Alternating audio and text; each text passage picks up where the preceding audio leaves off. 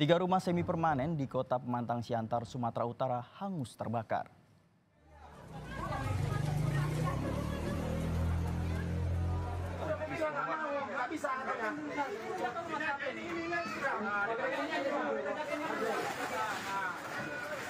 Kebakaran terjadi menjelang tengah malam saat penghuni sedang tidur ketika keluarga yang yang terdampak berhasil mengevakuasi diri. Diduga api berasal dari korsleting di dapur salah satu rumah.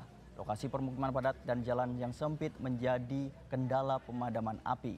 Lima mobil pemadam kebakaran dari pemerintah kota Pemantang Siantar dan dua dari perusahaan swasta dikerahkan.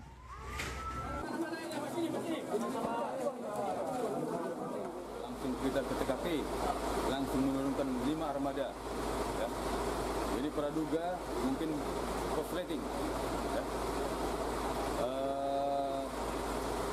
korban eh, korban tidak ada, hanya material rumah tangga tiga kakak